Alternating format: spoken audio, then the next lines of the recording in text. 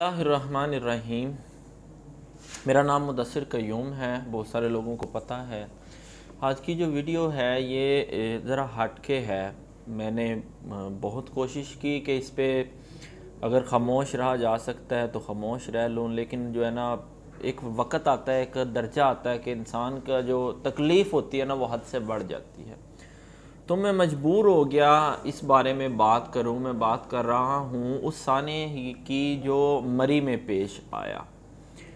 बहुत एक तकलीफ़ दे जो है वो कुछ दिन गुज़रे, बहुत सारी अमवात हुई, बहुत सारी पूरी की पूरी फैमिलीज़ मैंने देखी वीडियोस में, तस्वीर में और सोशल मीडिया के ज़रिए जो फैली वीडियोस, बहुत ही बुरी जो है वो कंडीशंस थी।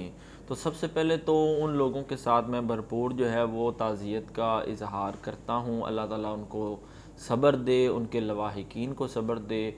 और जो लोग इस काबिल हैं कि उनकी मदद कर सकते हैं, वो उनकी हेल्प ज़रूर करें। उसमें बहुत सारे महकमे काम कर रहे हैं, मैं उनको अप्रिशिएट करता हूँ। बहुत सारे लोग अच्छा काम कर रहे हैं। और ये नहीं होता, असल में ये होता है कि जिस वक्त कोई ऐसा सानिया होता है तो फिर सारे लोग उसमें जो है वो कवर हो जाते हैं। जहाँ पे बुरे लोग होते हैं, वहाँ पे अच्छे लोग भी पाए जाते हैं। बहुत सारे बुरे लोगों में, बहुत सारे अच्छे लोग भी वहाँ पे थे जो पहुँचे वहाँ पे, लेकिन देर से पहुँचे, उस वक़्त जो है वो वक़्त गुज़र चुका था। बहुत सारी बात हो चुकी थी। अब इसकी वजूहत क्या है? इसके कौन कौन से अदारे ज़िम्मेदार हैं? एक अदारा होता है गवर्नमेंट का डिज़ास्टर मैनेजमेंट। बहुत सारे कम लोग इसको जानते हैं। इस अदारे का खालस्तन काम यही होता है कि जिस वक्त कोई आफत आती है, आफत आने से पहले ही ये अदारा जो है, ये एक्टिव होता है और अपने जो काम इनके ज़िम्मे हैं, उसको ये फौरी अंजाम देता है। लेकिन ऐसा कुछ नहीं हुआ तो सबसे पहले ये ज़िम्मेदार है।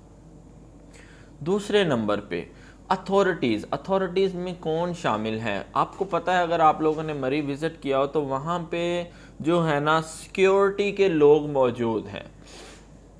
जिन्होंने आपको चेक पोस्ट पे वहाँ पे रोकना है और बताना है is the way is clear और नॉट क्या ये रास्ता आगे जाने के लिए खुला है या नहीं खुला?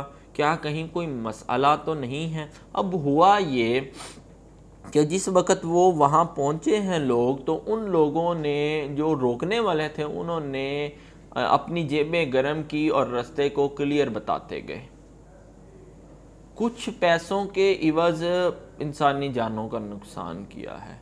ये खुदारा बहुत तकलीफ़ दे बात है। पैसे ले लेके उनको क्लियर करते गए तो जिस वजह से फिर जो आगे एक डेढ़ दो किलोमीटर लंबी ट्रैफ़िक की लाइन लग गई।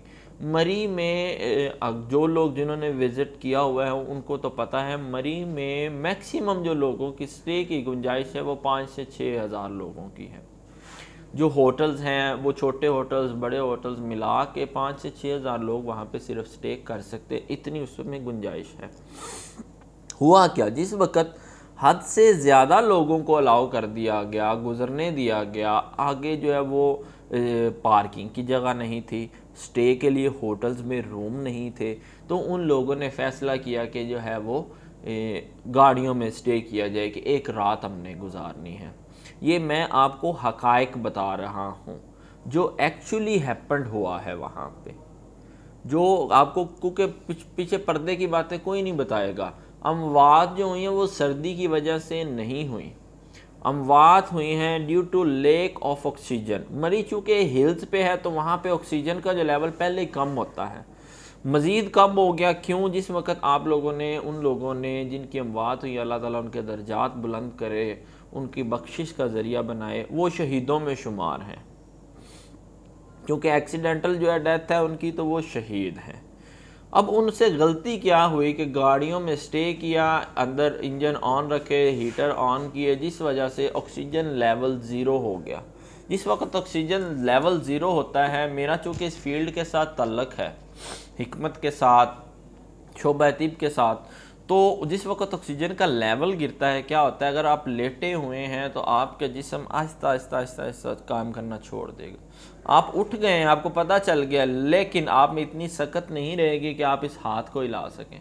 आप टांग हिला सकें, आप चीख सकें, आप मुँह से किसी को बुला सकें, क्योंकि lack of oxygen creates carbon monoxide C O carbon monoxide जो है वो एक टॉक्सिक गैस है, वो क्या करती है? जिस वक्त जिसम में घुसती है सरायत करती है नफूज करती है, ऑक्सीजन का लेवल गिरना शुरू हो जाता है, हाथ, पाँव, सारा जिसम काम करना आहिस्ता आहिस्ता छोड़ देता है।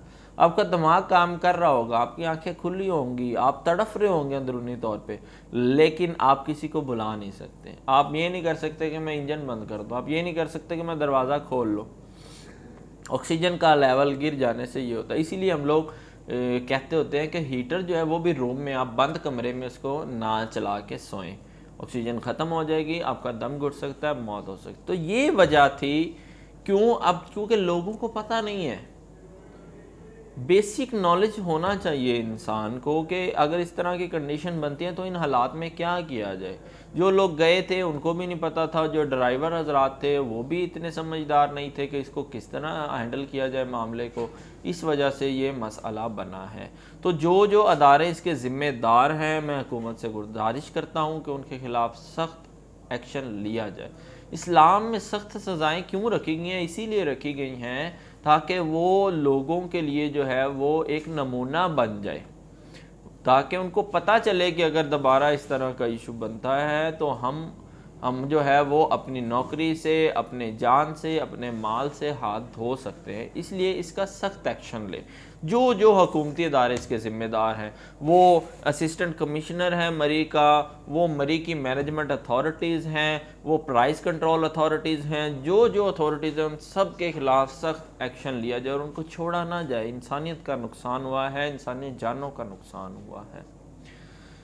इजाज़त दें अल्लाह ताला आपका और मेरा हामी नासिर हो।